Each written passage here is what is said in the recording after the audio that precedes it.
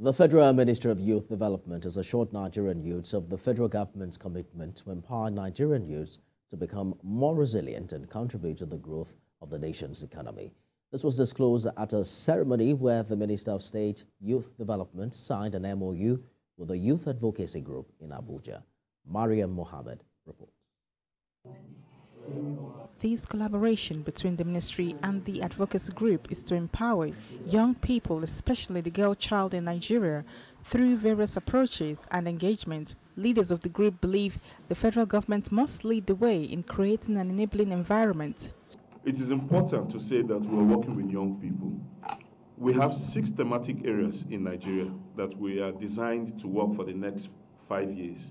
One of those thematic areas is youth development. Part of the people who has helped us to develop this strategy are young people. We have a coalition of young people, several of them. One of them, the most prominent, is what we call the Girls Get Equal. It's a coalition of young ladies across Nigeria, self-mobilized, currently in their thousands.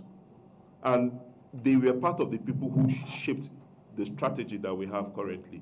They are bona fide Nigerians. The Minister of State's Youth Development, on his part, pledges his support and commitment towards the achievement of the group's ambition. We want to now harmonize our efforts in order to produce a bigger and a better result. Therefore, we are signing this agreement to work together more collaborative starting from today. Our primary mission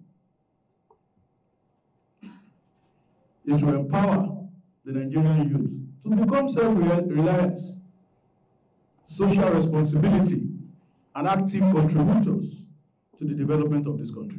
He also spoke about plans to celebrate the International Day of the Girl Child by vacating his seat for the winner of this year's IDG essay competition to serve as the minister for the day.